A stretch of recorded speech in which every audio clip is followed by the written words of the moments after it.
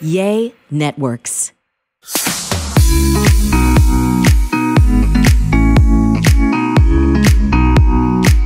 Hello, everyone. Welcome to Sour Loss Sweet Lessons. I am your host, Dr. Deshauna Barber. I am a former Miss USA, Army veteran, and motivational speaker. And I'm excited to welcome you back to another episode of Sour Loss Sweet Lessons. This podcast is all things self care, self love, and self improvement.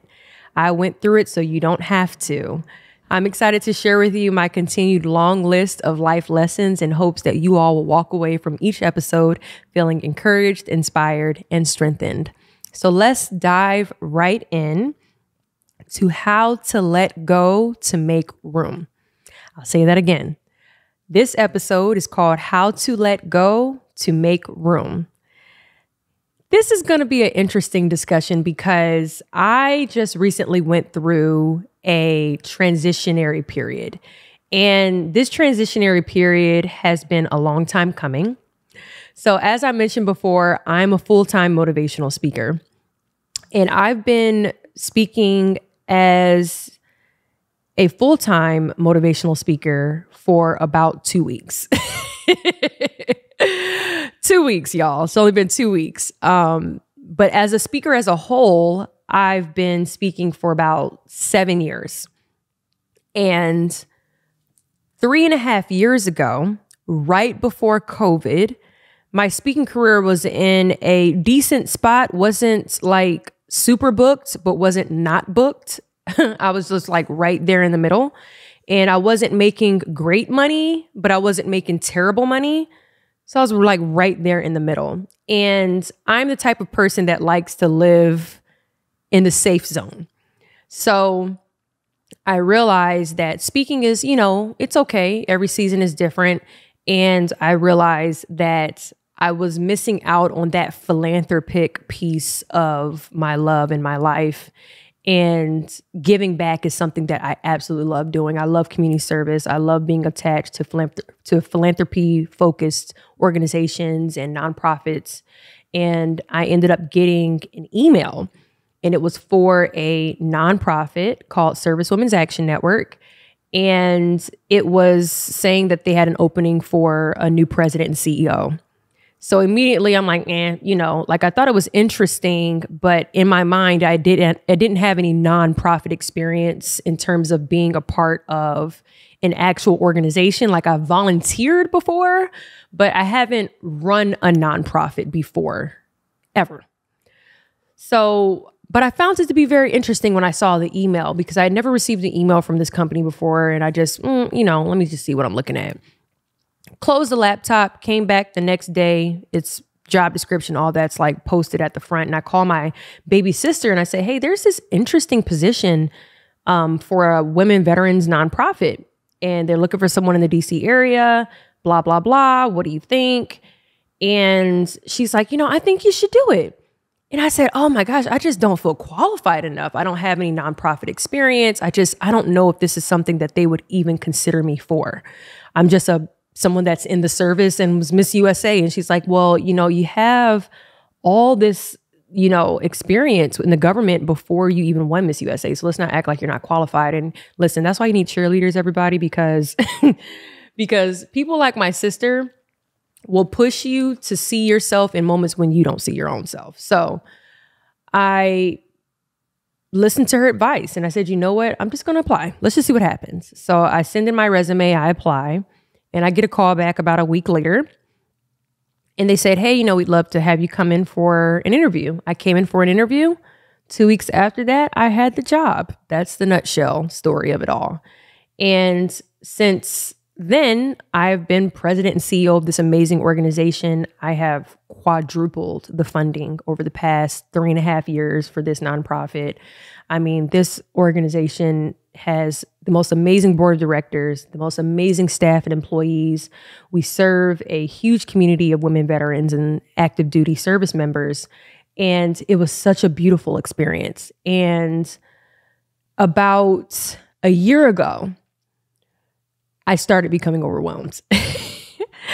and I started becoming overwhelmed because my speaking career was just up there. Like I am just barely able to have time to balance my speaking career and this nonprofit that I'm running. The reason why this started happening a year ago is because, like I said, I became president in December 2019. Y'all know what happened in March 2020. COVID hit. So, all of 2020, all my speaking gigs got canceled and transitioned to virtual speeches. And then in 2021, all my speeches were virtual. They were not allowing in person speaking because they weren't like, you know, all these state mandates that you can't have a certain amount of people in one room legally, right? So conferences and in person conferences weren't a thing in 2021. Right about summer 2022 is when I started going back to in person speeches. So I became president of this organization right when COVID hit, when I was doing virtual speeches for two and a half years, virtual speaking. So it was easier for me to manage this nonprofit and for me to be a speaker virtually. That was so easy to balance. And then 2022 happened. And I'm going to tell you more about 2022 right after this break. See you in a sec.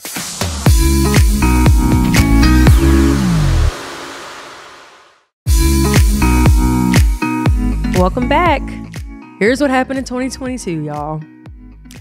My speaking career, there are days where I have just four or five speeches a month. And if you know as a speaker what it feels like to hop on a plane and travel and create and write speeches and stand in front of thousands of people, it can be a lot. So doing it at that magnitude while also fundraising for an organization, while also taking care of a bunch of staff, while also keeping up to date the board of directors like just being in a presidential position or a leadership position and an executive position at any company or nonprofit is just it's difficult. So right about fall of 2022 i started contemplating maybe this needs to be my last few months but then speaking slowed down in december and then i said okay well maybe i can still hang this out and then i got a ring on my finger in December, which means I start wedding planning. So now I'm walking into 2023 wedding planning, motivational speaker, content creator, president of nonprofit. I can't do all this. I can't do all of this. And right about March, I had an absolute mental breakdown. I was on my way to a speech in California, and it was at a college called Riverside City College. And I gave an amazing speech. What these people had no idea of is that about an hour before, I was having a panic attack in front of my assistant and my videographer in my rental car because they all fly with me to all of my speeches. And I had just this panic attack. I was overwhelmed. I was screaming. I was crying. I was upset. And I'm like, this, I am overwhelmed right now. Like, actually, that was February because it was a Black History Month event. So that was February of 2023. And I'm crying and they're trying to calm me down because, you know, I have to go and give a speech in front of, you know, a, a couple hundred students here. I need to figure out how to get myself together. And it was bad. And it was in this moment I realized just how human I am in that I can't do it all. I absolutely cannot do it all. Something has to go. And as much as I love this organization, as much as I care about the cause, I realize that for me to focus in on my brand, for me to focus in on my speaking, for me to focus in on my business, I can no longer give to this other organization. It's just, it's too much. So that leads me to what this episode is about. And it's about making space for your dreams. My dream is to become a top level motivational speaker that's booked internationally by Fortune 500 companies well known author, podcaster. Like I had those dreams to build up Deshauna and I had to let go of something that I so deeply loved for something that I love more. And that's my brand, that's my content, that's my business. Like I have to let go of this amazing role that has really sustained me for the past three and a half years so that I can make room for what I am building for myself and building in terms of generational wealth and something that can be passed down. Like I have to prepare myself for that. And sometimes you have to make room by letting go of something that you love. Letting go of something that you love can come in the form of a job. It can come in the form of a person. It can come in the form of where you're living, a city, a home. It can come in the form of a specific mindset that I currently have, and I need to adjust my mindset to make room for this newfound goal that I have. Letting go of space comes in different forms. You have to decide for your life what form you're talking about. My form was specifically a job. I had to let go of a job. For some of you, there's some people you need to let go. there's a job you need to let go there's a town or a city you need to let go. there's a mindset you need to let go. There is a trauma you need to let go.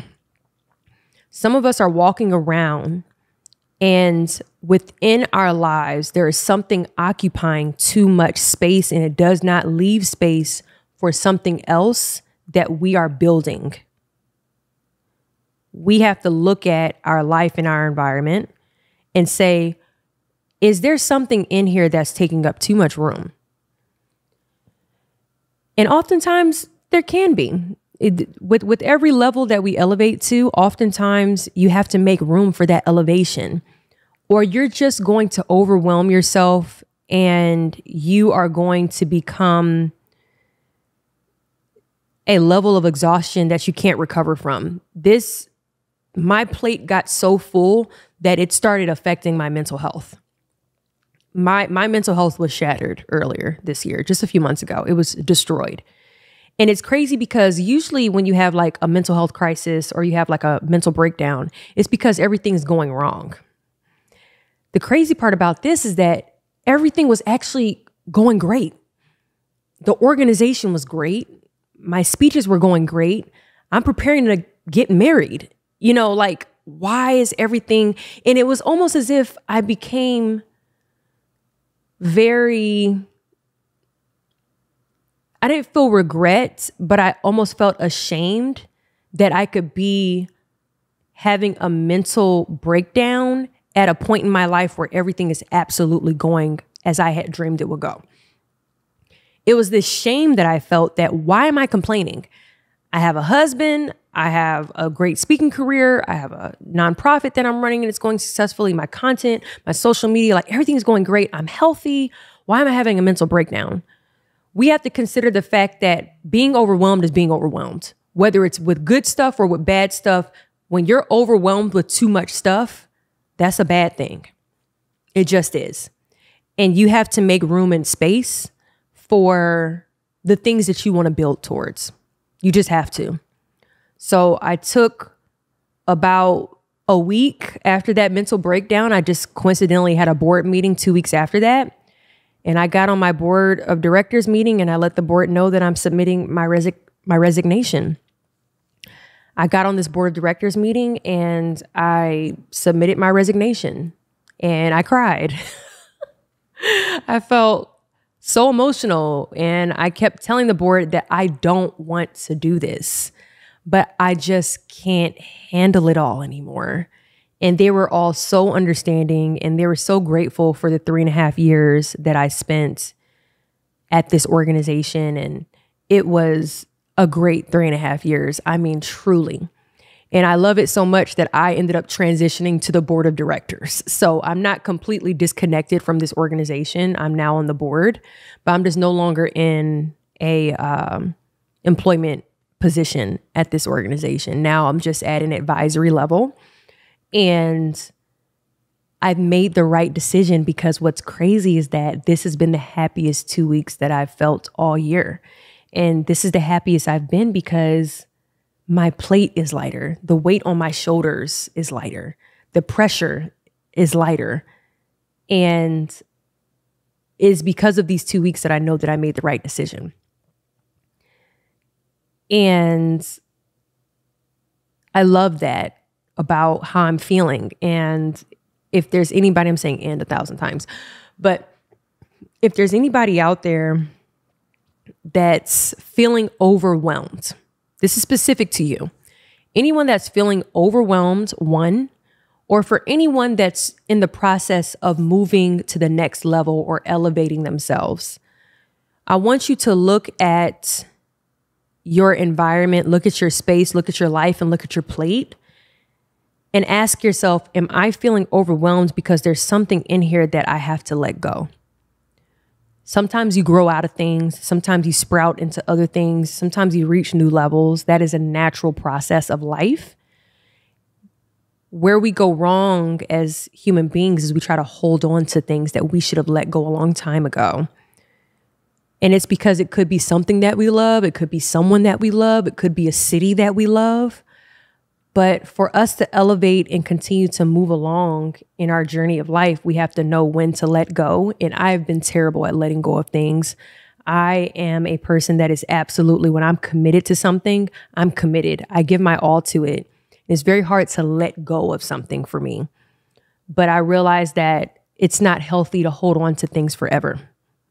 Sometimes you have to let it go so that you can make space for the other things that you're building. I'm going to give you all one last tip right after this break. See you in a sec.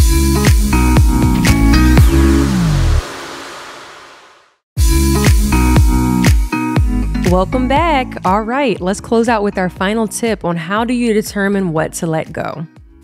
You determine what to let go based on what does contribute to you the most. What contributes to your brand the most? What contributes to your business the most? Sometimes we're building up something else that does not ultimately contribute to us as individuals, and that's fine but you have to create a hierarchy of importance. And what should always be most important is what builds you as an individual, not anything else.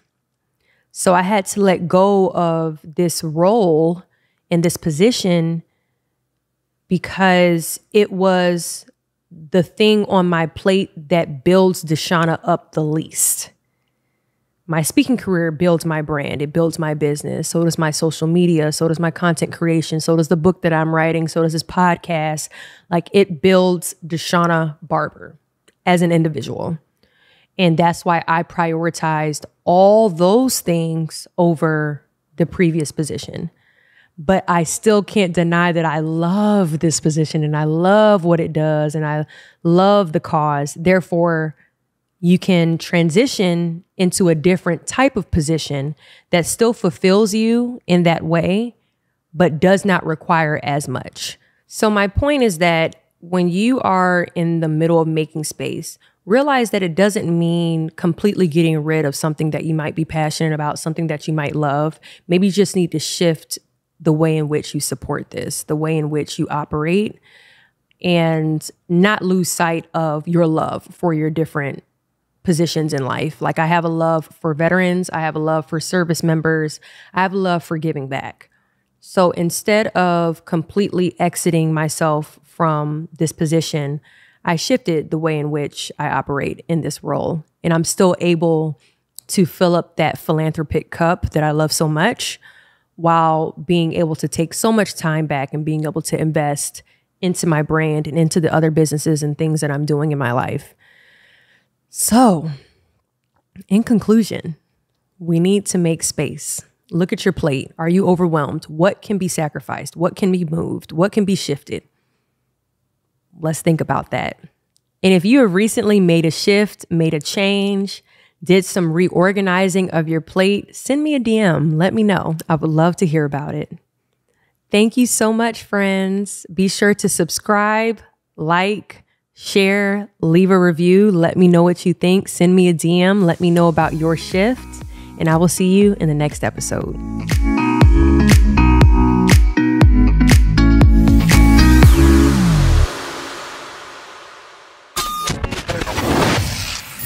Yay Networks.